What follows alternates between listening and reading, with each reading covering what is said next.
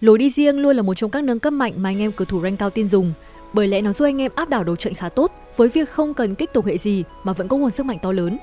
Tuy nhiên vẫn còn nhớ anh em chưa thuần thục được lối chơi này mà chỉ nghe qua về các bộ cờ đánh được thôi. Ví dụ có thể kẹp 2 đến 3 carry do hệ chủ lực không có kích mốc 2 và 3, trong khi Samira và Miss Fortune luôn là các carry 4 vàng uy tín hàng đầu. Hay ba vàng có thể chơi Kaisa lối đi riêng được. Vậy anh em đã bao giờ thử Senna lối đi riêng chưa?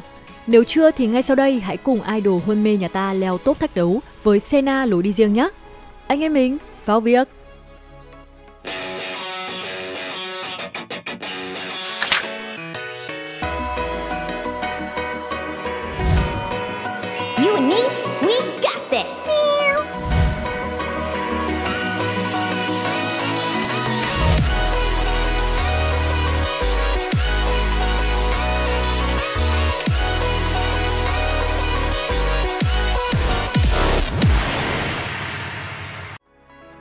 Khởi đầu trận đấu, hôn mê nhanh chân lụm luôn cái cung trên người Silas. Barao quái đầu trả về một găng, một kiếm cùng hai con Ezreal và Annie. Đây là lượng đồ khá đẹp để đánh các bài vật lý. Vòng chọn đầu tiên xuất hiện ba nâng cấp kim cương, cấy ghép siêu công nghệ, trang bị đầy đủ và làm nóng. Cùng cà phê nhân phẩm phân tích qua một chút nhé. Cấy ghép siêu công nghệ chưa tỏ ra quá ngon đầu game khi lượng đồ này Hoan Mê có thể xáo luôn cây vô cực hoặc cung xanh khi đã có sẵn đôi Kale và đôi Ezreal rồi. Trang bị đầy đủ cũng chưa chắc ngon đầu trận vì chỉ có thể hack ra một đồ mà thôi.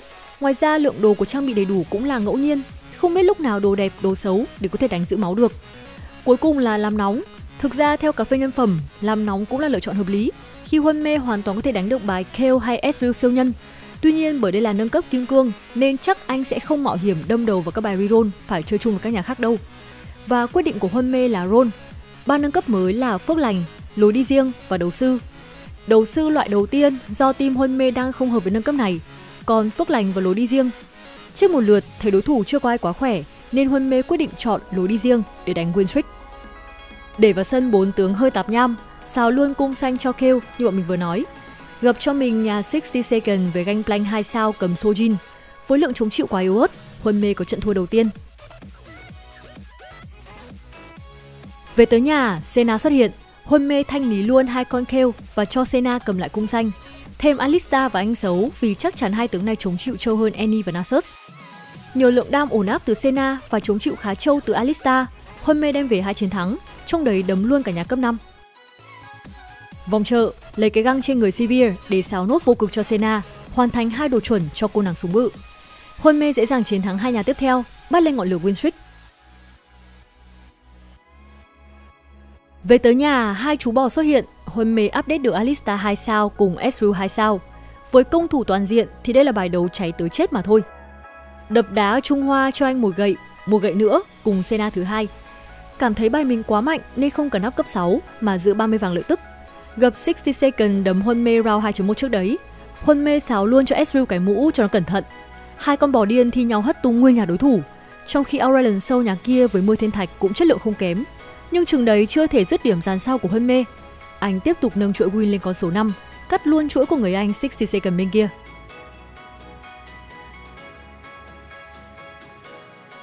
Round chọn tiếp theo với ba nâng cấp vàng, phóng hỏa, mài dao, tụ điện. Mài dao bỏ đầu tiên bởi lượng đồ đang có không phù hợp. Có chăng có bài Z, cơ mà Z tin tặc mới uy tín, chứ Z mài dao thì chắc mài mòn cả tay chưa chết dàn trên của đối phương.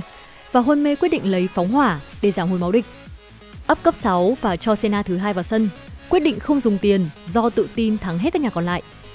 Tuy nhiên, tự tin là thế, round 3.3 gặp ngay ngoại đạo. Chúng mình cùng tập đếm nhé. 1, 2, 3, 4, kiến ngoại đạo. Mấy ông Trung Quốc đúng chúa tể vẽ đồ đấy. Trả bù cho mình đến 6.5 rồi mà Kaisa Carey chưa có nổi đồ thứ hai. Quay trở lại trận đấu, nhiều ấn đấy, nhưng Seda và Ezreal thi nhau xả sát thương, tiêu diệt nhanh chóng chống chịu phía trên. Sau 15 giây, Miss Fortune mới tích đủ mana, tung chiêu dọn dẹp bàn cờ. Nhưng từng đấy là chưa đủ để kết liễu hết carry nhà anh. Hôn mê thành công giữa đầu chuỗi tháng 7.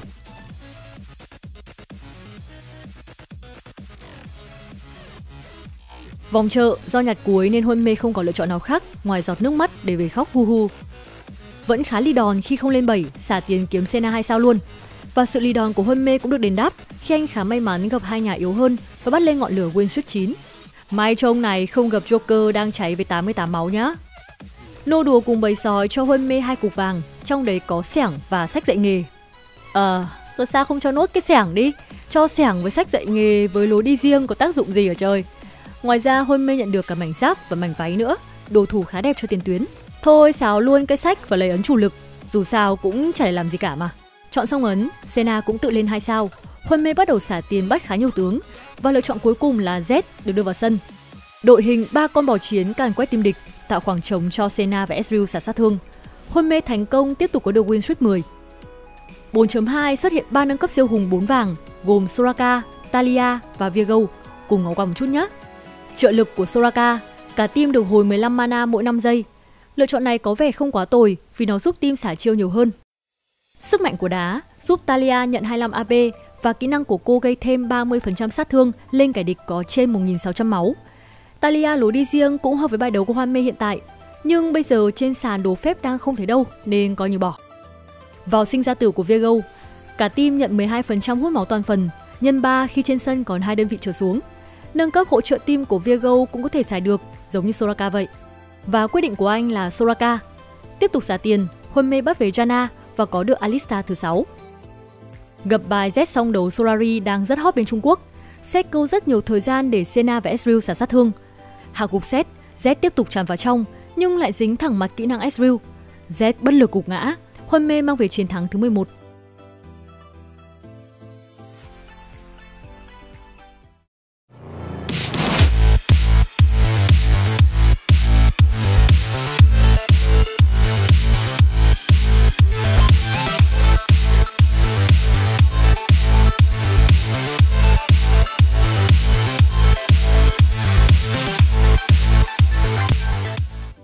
Cảm thấy Ezreal đã làm tốt nhiệm vụ, hôn mê để hắn nghỉ ngơi, cho Jana vào sân và trao lại mũ phù thủy cho Soraka.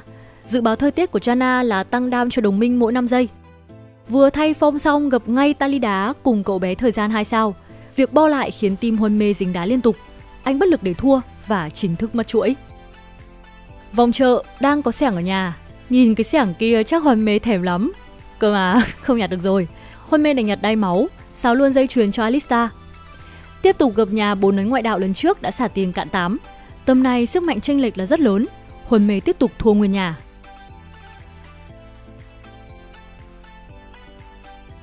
Round tiếp theo, Huân mê gặp nhà Z. Z hai cuồng cung bay thẳng tuyến sau tiếp cận Sena. Chỉ sau vài cú chém, dàn sau Huân mê bốc hơi. Anh tiếp tục với chuỗi thua ba.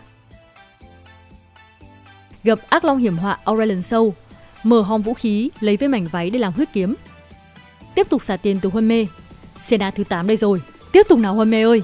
Và yes, Sena 3 sao đã có. Tiếp tục xả và lên được luôn Miss Fortune 2. Gặp cho mình nhà Draven siêu nhân, Huân mê lắp luôn huyết kiếm cho Sena. Tuy nhiên vì nhà Huân mê quá ít khống chế, Draven thoải mái đáp từng quân một.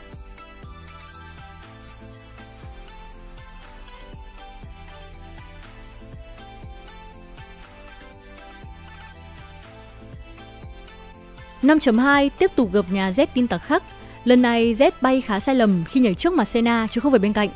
Senna với cây hàng siêu bự đủ tiện Z lên đường. Bất nguồn sát thương chính, hôn mê được đà có lại chiến thắng.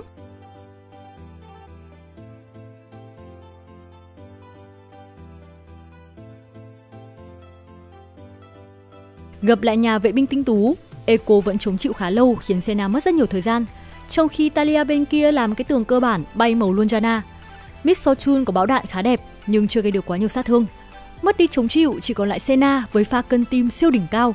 Senna mang về chiến thắng đau tim dành cho hôn mê.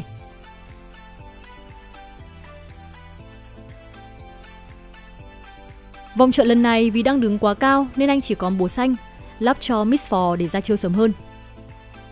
Lên 8 cho Sejuni vào sân, gặp lại nhà bốn ấn ngoại đạo. Miss Fortune xả bão đạn cảm giác không xi nhê, trong khi Viego có pha dập thẳng chỗ Senna và bị cô tiễn lên bảng luôn. Fido nổi giận tung bão quạ, nhưng bão quạ chỉ vào ngay tuyến đầu của mình. Senna vẫn được chơi game và thoải mái xả sát thương. Hôn mê tiếp tục có được chiến thắng thứ ba. 5.6 gặp lại nhà Z ba tia. Z nhảy xuống trước mặt Miss Fortune và bị cô cho ăn bão đạn thẳng mặt. Tuy nhiên Z đã kịp thời lướt đi và dứt điểm luôn Miss Vò. Nhiều nâng cấp khinh thường kẻ yếu, Z tiếp cận Senna và nhanh chóng đưa cô cùng đồng bọn nằm xuống rất nhanh. Hôn mê mất chuỗi trước khi gặp rác. Ở kho vũ khí lần này, Hôn Mê quyết định chọn dao điện để giảm kháng phép, giúp Miss Fortune và Soraka gây sát thương nhiều hơn. Gặp nhà hiểm họa Carrie với sâu và Belvet. Belvet liên tục cán lướt do anh khống chế, trong khi sâu luôn có những pha thiên thạch cực đẹp lên toàn bàn cờ. Sena của anh trang bị huyết kiếm nên rất lì lợm. Cô nâng súng bắn hạ từng kẻ một và chiến thắng dành cho Hôn Mê, thành công trên chân vào top 3.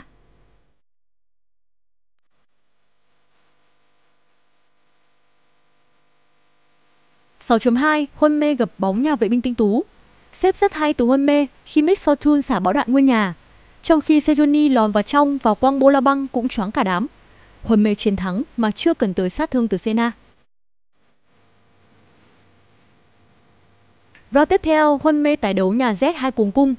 Kịch bản lần nữa lặp lại, Z dọn bàn cực nhanh, còn Huân Mê vẫn tiếp tục để thua và chỉ còn 19 máu.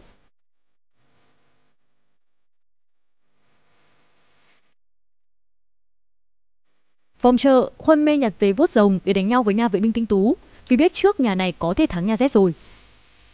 Tiếp tục xả tiền và cho luôn hai Sejuni vào sân để gây choáng cho nó cẩn thận. Đối đầu vệ binh tinh tú, Miss Fortune có pha bão đạn cực đẹp trước khi Sejuni bồi thêm cú choáng vào tim địch. Talia nỗ lực dựng tường để clear dần các tướng nhà hôn mê.